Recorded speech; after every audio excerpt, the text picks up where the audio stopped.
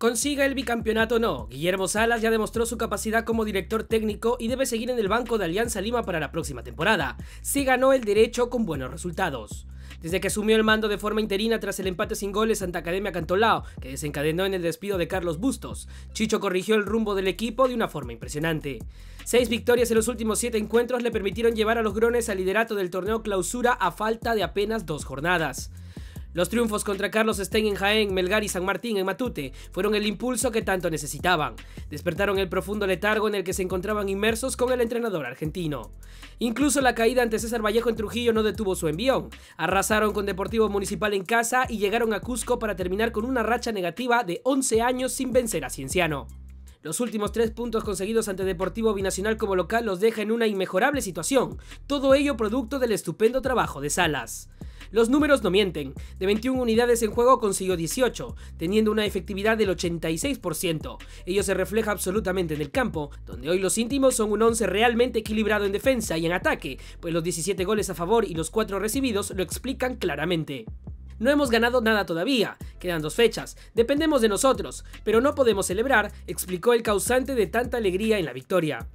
Pese a la humildad del estratega, hay varios aspectos por destacar más allá de los buenos resultados. En cuanto al manejo de grupo, gestionó perfectamente el vestuario poniendo orden, acabó con las luchas internas y consiguió que todos tiren el carro desde el mismo lado. La disputa entre dos pesos pesados como Hernán Barcos y Jefferson Farfán cada vez tuvo menos importancia, porque consiguió sacar la mejor versión de cada uno de sus jugadores y se volvió a hablar solo de fútbol. En cuanto al trabajo táctico, a diferencia de Bustos, no se empecinó en apostar por solo una idea de juego o un sistema, fue mucho más flexible e inteligente.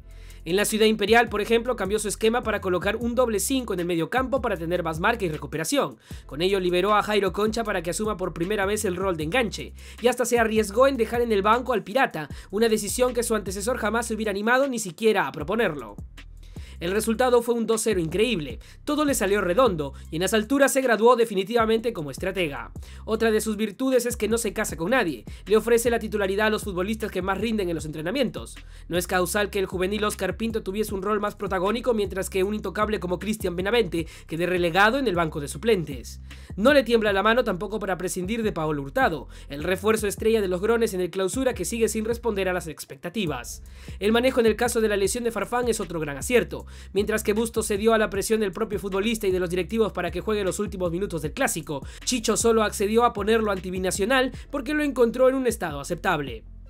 Para agregarle una razón más a su continuidad está la apuesta por dos jóvenes con un enorme futuro en el club, Sebastián Pinó y Juan Pablo Goicochea. A ambos los hizo debutar esta temporada en la Liga 1, pero de una forma responsable. No los metió en situaciones extremas, sino en los momentos adecuados para que puedan ir disfrutando de la experiencia sin que la presión los agobie.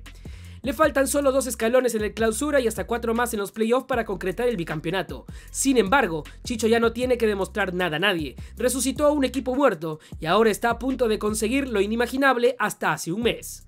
No hay partido fácil, vamos a pelear, guerrear, son finales que nos estamos jugando, dependemos de nosotros, afirmó. ¿Y tú, qué opinas? ¿Crees que Alianza Lima debe nombrar a Chicho Salas como su técnico para la próxima temporada? Te leemos en los comentarios, dale like y síguenos para conocer toda la información del fútbol. Y recuerda que somos el futbolero, el sitio del hincha.